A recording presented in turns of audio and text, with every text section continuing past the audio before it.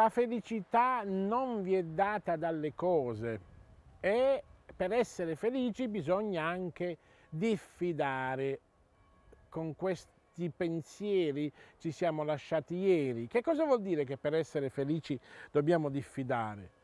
Dobbiamo diffidare da chi ci presenta non la felicità vera, da chi ci, da chi ci presenta una illusione, da chi ci illude che possedere, che avere, eh, che, che, essere felici vuol dire essere qualcuno, che, che, che essere felici vuol dire, come, come, ci siamo detti ieri, riprendendo le parole che Papa Francesco ha detto nel 2016 eh, durante il Giubileo dei ragazzi e delle ragazze, la felicità non è nell'ultima app.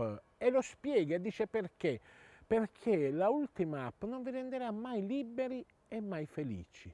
Ecco che la felicità va sempre con la libertà ed ecco perché bisogna diffidare, perché c'è gente che mi vuole illudere, perché c'è c'è un sistema, un modo di pensare la vita, c'è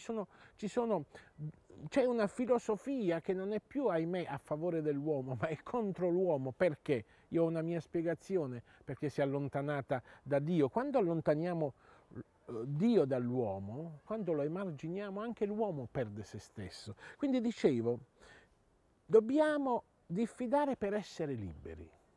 Dobbiamo avere il senso critico, quello che nel Vangelo Gesù eh, dice di essere, chiama prudenza e saggezza.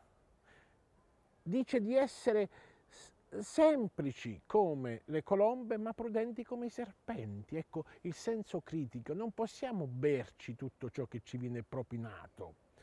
E diffidare vuol dire arrivare a comprendere se questa o quella scelta, se questo o quel prodotto, se questo o quel modello mi rendono libero o no. Perché una, una persona che non è libera dentro, non è felice.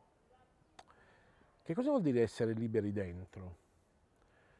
Ricordo di aver conosciuto anni fa un detenuto, ne aveva fatto di tutti i colori, ma proprio di tutti i colori, eh? aveva i reati più gravi e anche più abominevoli.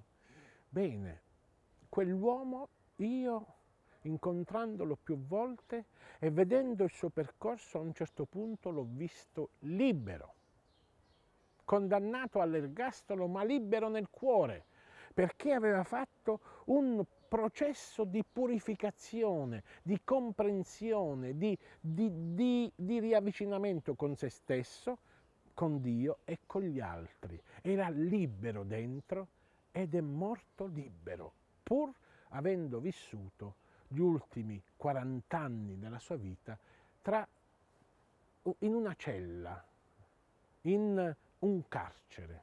La libertà interiore è la libertà di quelli che vogliono essere felici e che sanno discernere, che sanno utilizzare il loro spirito critico, la loro intelligenza e come dice Gesù, sanno essere semplici come le colombe e prudenti come i serpenti. Ci vediamo domani, Padre Pio TV, dritto al cuore. Ciao a tutti!